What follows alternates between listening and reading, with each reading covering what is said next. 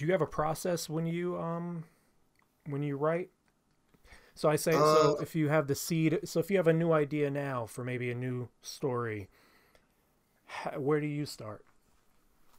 Um, notebooks. Like I have, I have, have notebooks like on my desk, like surrounding me. Um, I, I start with like jotting it down, um, and then like just just loose stuff, raw stuff. Uh, from there, uh, you know, I might create a a folder and like make it official and it's in like the drop in like a Dropbox or it's in a Google Doc, so I can go back to it. With a mock um, title like, or whatever, a, loose title. Yep. exactly, exactly. Yeah. Uh, so it's there, so I can find it. Um, and then, but but like if I am like working on a story, um, it, it really is about like, um, like the initial overview of what the story is, like how I sum it up in a very short way. Then let me expand it out some. Uh, from there, I'm doing characters. Uh, you know, like maybe some dialogue might come to mind. I'll write down the dialogue. You know, you know, um, just set up like a scene. Um, but when I'm really getting into like that moment before scripting, it, you know, it's it's it's an outline. Um, it's an outline, and it could be very loose, or it could be like more. It could be tighter.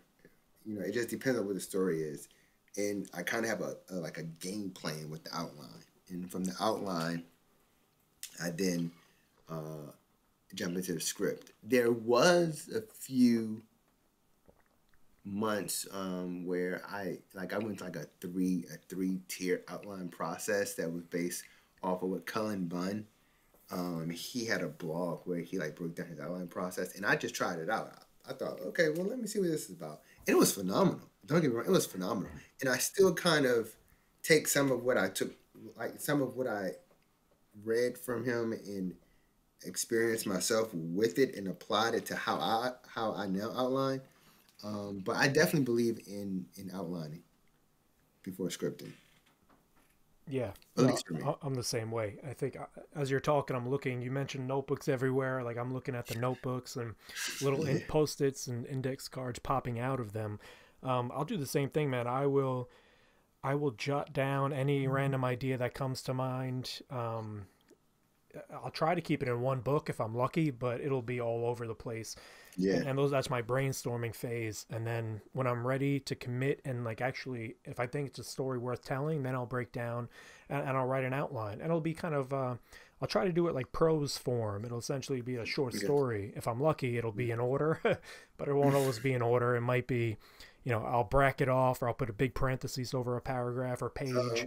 arrows pointing it back to the beginning. Like it'll just be very loose.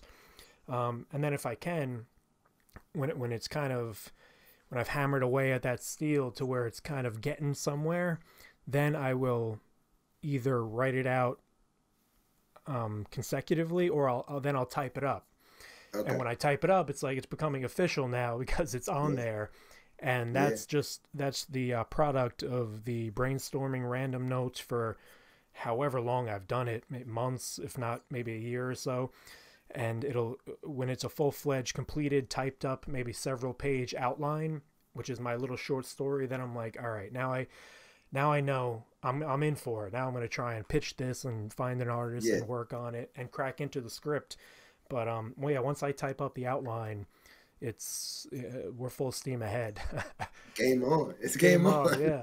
So that's cool man. I feel like a lot of a lot of creators have a very similar process.